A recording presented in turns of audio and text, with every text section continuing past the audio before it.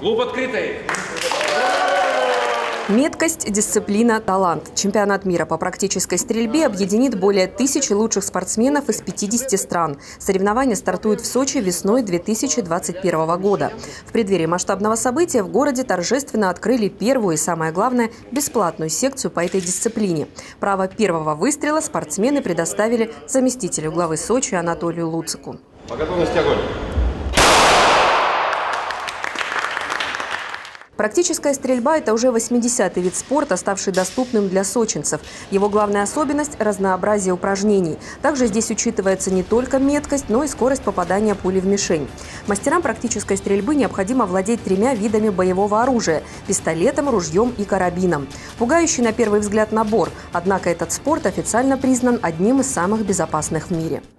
За почти 60 лет проведения соревнований по практической стрельбе по всему миру в которых приняли участие сотни тысяч спортсменов. Миллиарды патронов были расстреляны за это время. Не произошло ни одного несчастного случая по причине неосторожного обращения с оружием на соревнования по практической стрельбе, и это известный факт.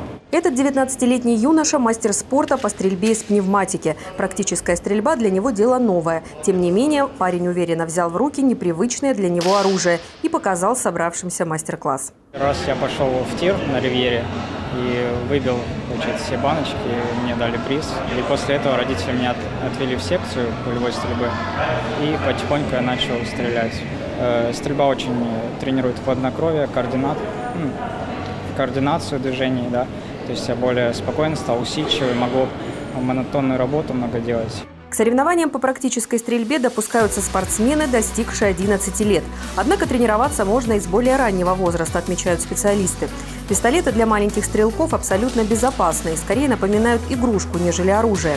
Тем не менее, с первого занятия юным спортсменам прививается дисциплина.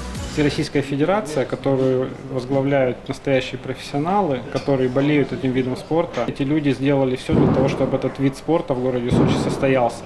А именно это вот сегодня э, мы торжественно открываем э, первый стрелковый клуб. Желающих будет гораздо больше, чем э, на сегодняшний день возможности нашего города. И благодаря этому мы с Нового года открываем муниципальную школу.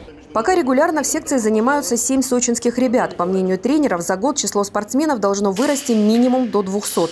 Накануне представители Всероссийской Федерации пулевой стрельбы посетили ряд городских школ. Необычным видом спорта заинтересовались более 700 учащихся. Я уверена, что дети будут записываться, будут тренироваться. Мы приложим к тому, чтобы сюда приезжали спортсмены, показывали, делились с ними мастерством, чтобы сюда приезжали лучшие тренеры. А, возможно, здесь будут проведены сборы в какой-то момент времени. Я очень надеюсь, что те дети, которые сейчас начнут тренироваться, возможно, смогут быть отобраны в национальную сборную и представить Россию на чемпионате мира. По словам руководителя дирекции чемпионата мира Анастасии Черненко, в ближайшее время секции по практической стрельбе должны открыться во всех районах города.